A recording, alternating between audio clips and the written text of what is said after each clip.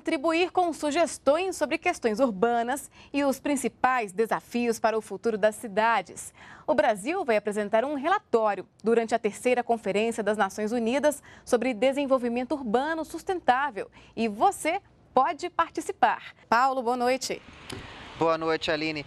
Essa Conferência das Nações Unidas ocorre a cada 20 anos. A última foi em 1996 em Istambul, na Turquia. A próxima vai ocorrer em 2016 e é provável que ocorra em Quito, no Equador, e tem como tema principal a sustentabilidade. Sobre a participação do governo brasileiro nessa conferência, eu converso com o secretário executivo do Ministério das Cidades, Carlos Vieira.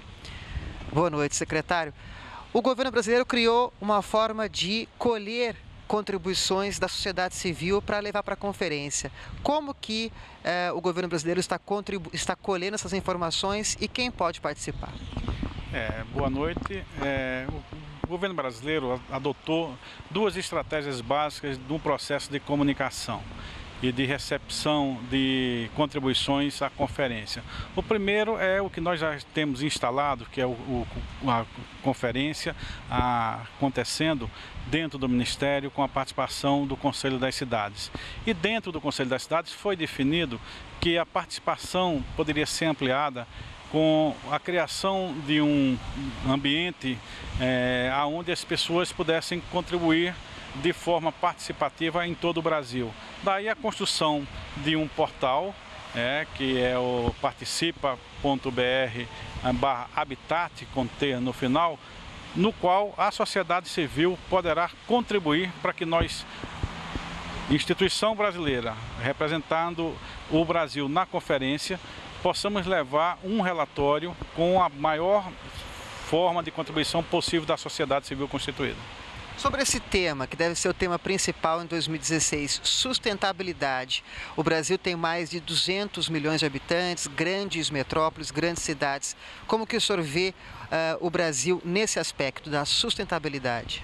É, na realidade, a questão, tanto que o tema é focacionado em sustentabilidade e resiliência das cidades, é uma preocupação mundial. É, é, essa questão ela, ela, ela é debatida e as agruras que a sociedade brasileira vive em relação a essas cidades não é diferente, por exemplo, do que acontece nas grandes cidades do mundo, Nova York, Tóquio e outras cidades do gênero. As soluções para a convivência mais harmônica das cidades, com formas de que você evite a agressão às cidades, daí a questão da resiliência, as cidades apesar de serem muito agredidas, elas conseguem resistir, esse é um termo da física que foi incorporado pela Nação Unida, Nações Unidas, no sentido de dar essa conotação de que nós nós precisamos agredir menos as cidades, fazer com que as cidades tenham uma forma de convivência onde o seu ambiente é, seja o mais harmônico possível, né, considerando ecossistema, gestão da cidade, mobilidade, saneamento básico e habitação. Né, e que o cidadão ele tenha a condição de conviver de forma adequada dentro desse contexto. Daí essa questão né, ser uma questão de grande relevância porque todos os países do mundo estão vivendo nas suas grandes cidades, principalmente essa grande equação, como fazer com que a sociedade ela conviva de forma harmônica, apesar de todas essas questões da urbanização recente que os países tiveram.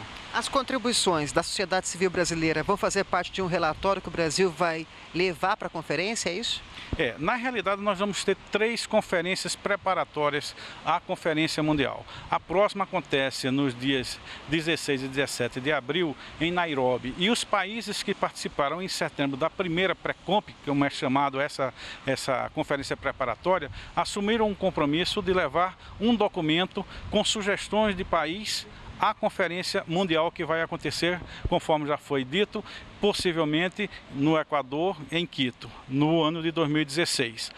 E o Brasil encontrou uma forma de trazer com que a sociedade civil constituída, que é um modelo né, de inclusão da participação social, um modelo que o governo brasileiro vem adotando é, com muito êxito, de forma que a gente possa trazer a contribuição da sociedade a os destinos de gestão governamental. Muito obrigado pela entrevista, secretário.